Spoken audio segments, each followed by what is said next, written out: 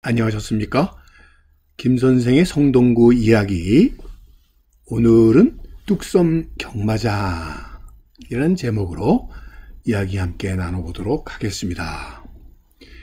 자, 우리나라에 이런 서구식 경마가 처음 소개된 것으로 이렇게 얘기되는 것은 1898년 5월에 훈련은 광장에서 개최되었던 관립 외국어학교 연합운동회 에서 개최되었던 나귀 경주였다고 이렇게 얘기되고 있습니다.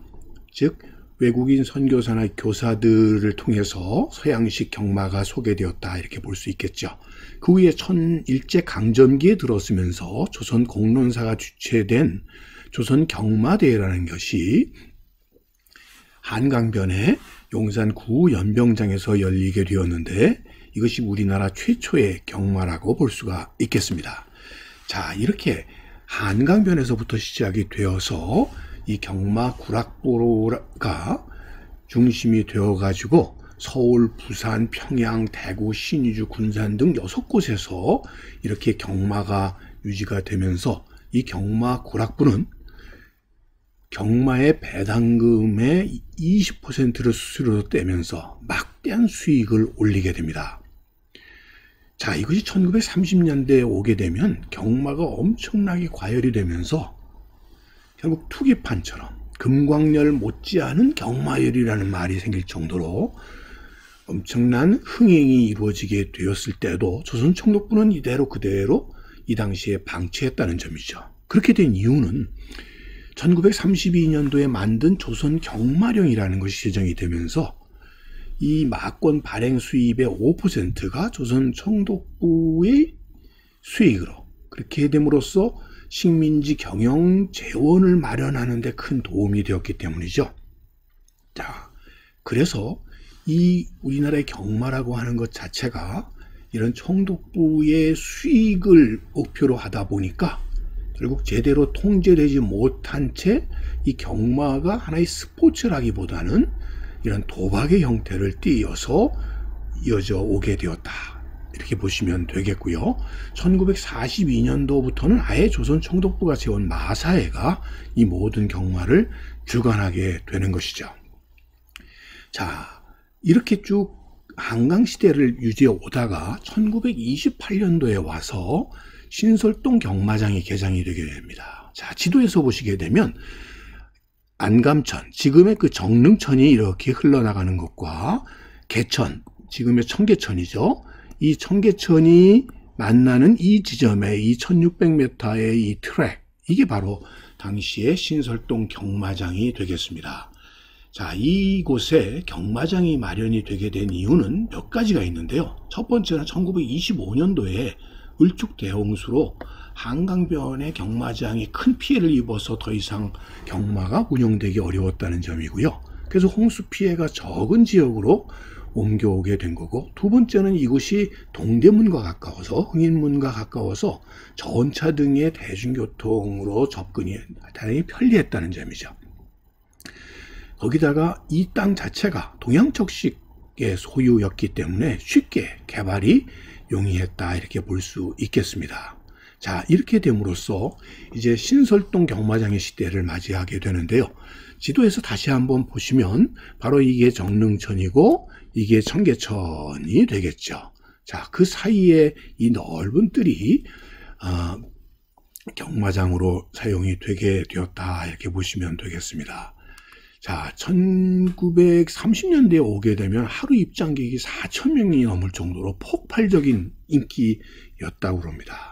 그런데 바로 이 시기 일제 강점기의 1920, 30년대라고 하는 것은 전 세계적으로도 경제 공황이 오게 되고 그런 의미에서도 경제적으로 굉장히 어려움에 빠져서 조선의 많은 이들이 살기 어려워서 서간도 북간도로 이주하던 시점이었던 것이죠. 그런 의미에서 보면 역사가 갖고 있는 어떤 동시성 한쪽에서는 경마로 흥청거리고 또 그런 상황 속에서 청량리 왕십리 역에서는 결국 조선 안에서 살아나갈 만한 땅이 없어 조선의 많은 사람들이 얼마 안 되는 세간을 챙겨서 남부여대 해가지고 결국 간도로 이렇게 흘러나가야만 됐던 그래서 그 역이 이주동포로 대혼잡을 이루었던 때가 또한 이 시대였었고요. 자 이런 일들은 지속적으로 그래서 바람 불고 눈보라 칠 때 동포여 어디로 갑니까? 왕십리 정거장에서 서북간도를 향한 고국을 떠나는 동포가 지난 가을 이래 벌써 천명이 넘었다는 이런 기사들을 통해서 당시에 많은 조선인들이 얼마나 어려운 상황이었었는가를 알 수가 있겠고요. 1925년도에 을죽 대홍수 당시에 이 뚝도 제방이 무너져 가지고 5천 명의 생명이 위기에 절박해서 4천 생명이 풍전등화였던 그런 상황이라든지 1936년에 도도한 탕류 중에 500여 위험 절박, 주민 2,500여 명 전전긍긍, 뚝도리 일대의 수, 수란, 뭐 이런 위기적 상황 속에서도 결국 이 신설동 경마장은 이런 흥행의 흥행을 거듭하고 있었다는 것이죠. 자, 그러다가 해방이 되고 난 뒤에는 이 마사회가 그 운영권을 넘겨받아서 계속 이 경마는 진행이 되었고요. 참 대단한 것은 1950년 6월 25일 이 전쟁이 난 당일에도 경마장은 12경주가 진행되었다는 점입니다. 그러나 전쟁 중에 인민군이 이 지역을 차지하게 되면서 미군의 폭격으로 경마장이 파괴되고 군수물자 수송에 동원됐던 경주마들이 거의 죽음으로써 경마는 더 이상 운영되기 쉽지 않았죠. 서울 수복 이후에는 이곳이 미군 비행장으로 징발되기도 했었으니까요. 그러던 것이 휴전협정이 맺어진 1953년 7월 27일 그 다음날 결국 신설동은 징발이 되고 나니까 뚝섬에 새로운 경마장 공사를 시작했다는 점입니다. 자, 이 뚝섬 지역은 일찍이 일제강점기 시대의 일본인 지주들 또 동양 척식 등이 소유를 하고 있어서 조선인들은 대부분 소작을 해서 배추밭으로 대표되는 이런 채소밭들이 운영되었던 곳이 바로 이 뚝도였죠. 뚝섬이었죠. 자, 해방이 되고 난 뒤에 이 동양척식회사가 소유했었던 이 뚝섬 경마장터는 적, 적의 재산이었기 때문에 당연히 이 소작인들에게 불화되어야 맞는데도 불구하고 결국 이 1949년 농지개혁법 공포 이래로 마사회가 이것을 소유권을 주장해 오고 있다가 결국 재건 사업이 벌어지면서 그 1호로 경마장 건설에 나서게 되니까 당연히 이 불화를 요구해 희망했었던 소작인들이 크게 반발할 수밖에 없었겠죠. 그런 상황 속에서 1954년 5월 8일 날 임시 이렇게 시설을 갖추고 서울 경마장이 개장이 됨으로써 이제 신설동에서 뚝섬 서울 경마장의 시대가 열리게 되었다. 이렇게 보시면 되겠습니다.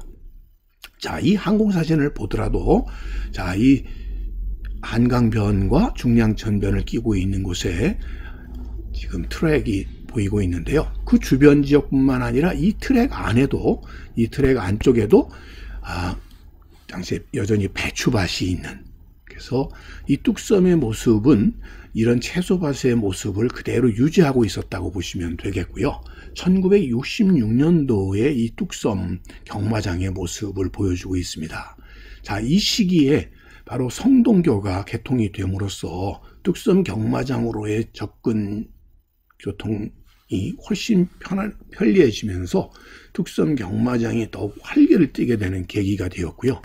자, 68년도의 모습이 되겠는데요. 이때 오게 되면 당시 박정희 대통령의 지시에 의해서 트랙 안쪽의 배추밭은 골프장으로 이렇게 바뀌어 나감으로써 한쪽에서는 경마, 한쪽에서는 골프가 이루어지고 있는 이 뚝섬 경마장. 그런데 그 경마장 뒤편으로 보이는 응봉산의 자락에 있는 그 응봉동 또 금호동 일대에 이 달동네의 모습과 대비될 정도로 그런 서민들의 삶과는 무관하게 여전히 이 뚝섬 경마장은 돈이 모여서 소위 이렇게 경마가 이루어지는 막권 판매를 통해서 활성화가 이루어지고 있는 그 시대의 모습을 상징적으로 잘 보여주고 있는 것이 이 사진이 아닌가 싶습니다. 자, 70년대에 들어서도 여전히 저 멀리 보이고 있는 이곳이 바로 뚝섬 경마장이 되겠고요. 여전히 70년대 뚝섬 지역에는 이런 채소밭들이 여전히 남아있는 상태로 어, 뚝섬 경마장이 운영이 되었었다 이렇게 보시면 되겠습니다.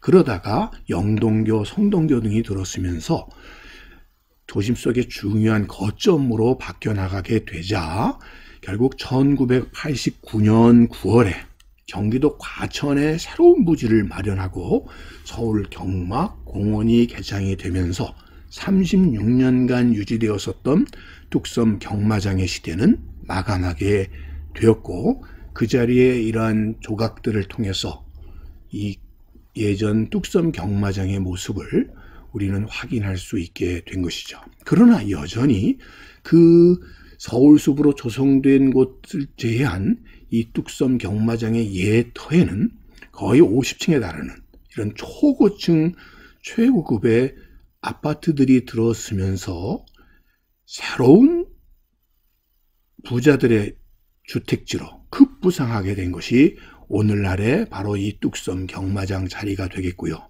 그런 의미에서 본다면 뚝섬 경마장 이래 돈이 모이는 땅이었던 이 뚝섬의 전통은 오늘날도 이어져 오고 있다. 이렇게 결론적으로 말씀드릴 수 있겠습니다.